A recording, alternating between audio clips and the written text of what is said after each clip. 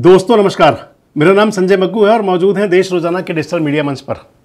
हरियाणा में चुनाव है, विधानसभा का चुनाव, यानी कि हरियाणा की सरकार चुनने का चुनाव।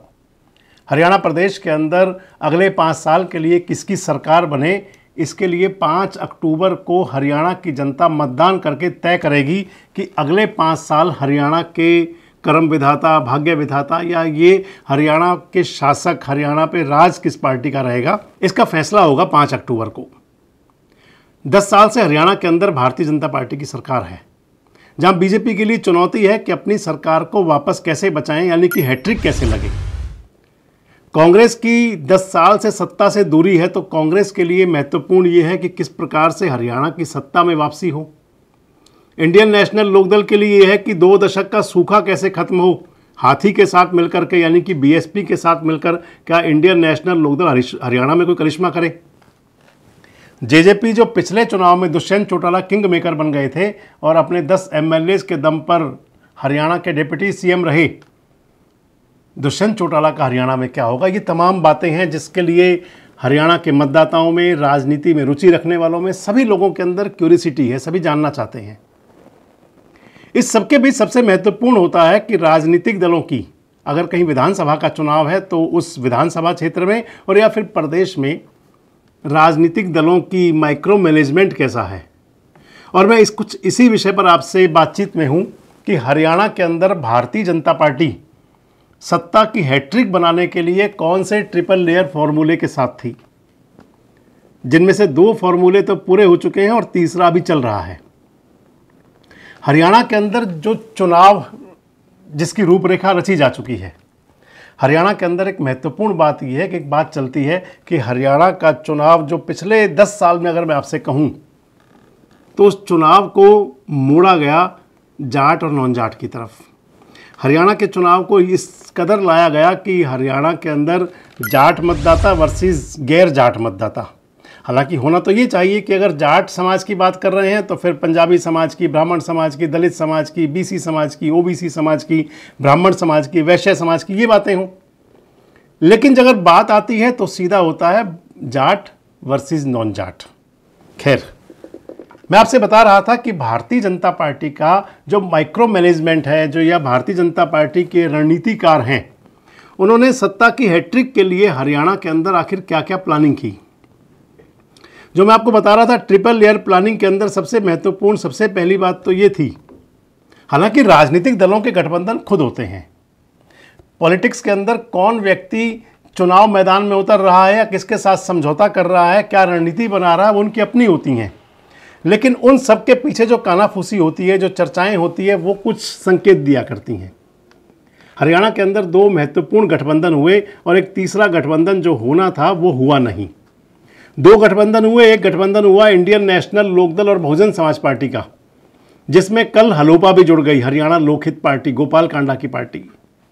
और जब इनेलो और बसपा का गठबंधन हुआ तो राजनीतिक रणनीतिकारों ने एक बात कहनी शुरू की कि ये भारतीय जनता पार्टी के माइक्रो मैनेजमेंट का हिस्सा है और ये पार्ट वन है।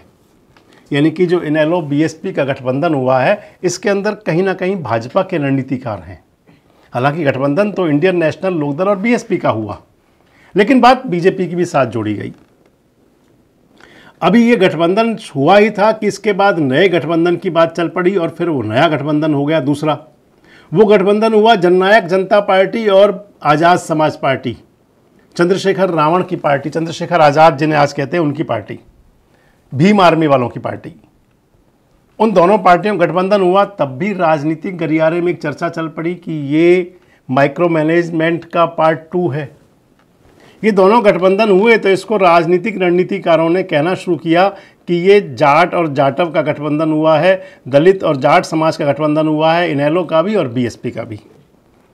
दलित और जाट मतदाता, दोनों मतदाताओं को इस समय माना ये जा रहा है कि ये दोनों मतदाता कहीं भारतीय जनता पार्टी के अगेंस्ट हैं, भारतीय जनता पार्टी के खिलाफ हैं। जब ये बात चलनी शुरू हुई तो फिर राजनीतिक रणनीतिकारों ने भी मानना शुरू कर दिया कि संभवतः ये भाजपा के माइक्रो मैनेजमेंट का ही हिस्सा हो। भले ही इसका पता ना इनेलो को हो, ना बीएसपी को हो, भले ही इसका पता जेजेपी को और आईएसपी को ना हो, लेकिन राजनीतिक रणनीतिकार अपनी बात बताते रहे। अब टिकट वितरण हो चुका है और नामांकन पत्र भरे जा चुके हैं। भारतीय जनता पार्टी के साथ बातचीत चली थी गोपाल कांडा के अलायंस की। पंद्रह सीटों से चल करके दो सीटों तक बात आई थी, लेकिन वो समझौता हुआ नहीं। भारतीय जनता पार्टी के साथ इसके बाद में बात ये चली थी कि उनके जो कैंडिडेट आएँगे, उस पर निर्भर काफ़ी करेगा। इस चुनाव में भारतीय जनता पार्टी ने काफ़ी मंथन किया। और कई ऐसे कैंडिडेट हैं, आप मान सकते हैं कि रामविलास शर्मा का टिकट काट दिया गया महेंद्रगढ़ से। रामविलास शर्मा का टिकट कटना लोगों की नज़र में एक बात ज़रूर गई कि आखिर हुआ क्या? लेकिन मैं आपको बताऊँ तो ये बीजेपी के माइक्रो मैनेजमेंट यानी कि सत्ता की हैट्रिक के लिए तीसरा फॉर्मूला है। राजनीति और शतरंज दोनों ऐसे खेल हैं। शतरंज की चौसर पर जब गेम खेला जाता है, जब खेल चला जाता है तो शतरंज के अंदर कई बार अपने ही राजा को चेकमेट करा दिया जाता है। सिपाही से। सिपाही का बलिदान होता है और राजा पर नज़र होती है। कई बार शतरंज के खेल में होता है कि घोड़ा ढाई चाल चलते हुए और सीधा अटैक रानी पर करता है। तो ये इसी प्रकार से कुछ राजनीति का खेल भी है। राजनीति के अंदर अपने मोहरों को डाउन करने के लिए दूसरे मोहरे भी उछाले जाते हैं। बड़ी चर्चा है महेंद्रगढ़ विधानसभा को लेकर। मैं आपको महेंद्रगढ़ का बताऊँ, जो 2019 का चुनाव परिणाम था। महेंद्रगढ़ में रामविलास शर्मा चुनाव हारे थे रावदान सिंह चुनाव जीते थे। और उस चुनाव के अंदर एक महत्वपूर्ण बात हुई थी कि पूर्व शिक्षा मंत्री रहे हैं बहादुर सिंह, चौधरी बहादुर सिंह। 2000 की चौधरी ओम प्रकाश चौटाला सरकार में शिक्षा मंत्री हुआ करते थे। उनके बेटे हैं संदीप सिंह। संदीप सिंह निर्दलीय चुनाव लड़े थे और उन्होंने बड़ी संख्या में वोट लिए थे। इस चुनाव के अंदर कमल सिंह यादव को टिकट दिया है। भारतीय जनता पार्टी ने रामविलास शर्मा का टिकट काट करके। और राजनीतिक क्षेत्रों में ये चर्चा चल पड़ी है कि जो रामविलास शर्मा का टिकट काटा गया है, उसके पीछे बीजेपी की रणनीति है। रणनीति ये है कि अगर कहीं भारतीय जनता पार्टी कमज़ोर हो रही है तो फिर वहाँ कांग्रेस को भी आगे न बढ़ने दिया जाए और कोई तीसरा आ जाए। और अब कहा जा रहा है कि संदीप सिंह वहाँ बड़े मुकाबले में है। संदीप सिंह वहाँ बड़े मुकाबले में है। और कमल सिंह यादव का नाम ने अगर चौंकाया होगा, जितना रामविलास शर्मा को चौंकाया होगा भारतीय जनता पार्टी में, जितना राविंदरजीत सिंह और चौधरी धर्मवीर चौंके होंगे, उतना ही चौंके होंगे रावदान सिंह। जब सजातीय उनके प्रत्याशी आ गए तो वोट बैंक के अंदर कहीं ना कहीं डेंट ज़रूर लगेगा। अगर मैं कुछ और विधानसभाओं की भी आपसे बात करता चलूँ, एक विधानसभा की आपसे मैं बात कर लूँ सिरसा विधानसभा के बारे में ही। सिरसा विधानसभा में कहा जा रहा था, जब गोकुल सेतिया कांग्रेस में चले गए, उनको कांग्रेस का टिकट मिल गया तो चर्चाएँ शुरू हो गई कि गोकुल सेतिया बहुत मज़बूत कैंडिडेट होंगे। चर्चा थी कि भारतीय जनता पार्टी और बीजेपी गठबंधन से या होंगे या बीजेपी से कैंडिडेट होंगे गोपाल कांडा। लेकिन भारतीय जनता पार्टी ने वहाँ पर अपना कैंडिडेट उतार दिया और वो उतार दिया ओबीसी समाज से, जांगड़ा समाज से। अगर दूसरी तरफ़ चलते हैं तो फिर यहाँ पर अब गठबंधन हो गया इंडियन नेशनल लोकदल का और गोपाल कांडा की पार्टी का। गोपाल कांडा यहाँ से चुनाव लड़ रहे हैं, इनेलो उनको समर्थन देगी। सिरसा के अंदर इंडियन नेशनल लोकदल का बड़ा वजूद है। मैं आपको याद दिला दूँ कि बहुत ज़्यादा समय नहीं हुआ जब अभय सिंह चौटाला और गोकुल सेतिया के बारे में कहा जाता था, ये दोनों शेर हैं।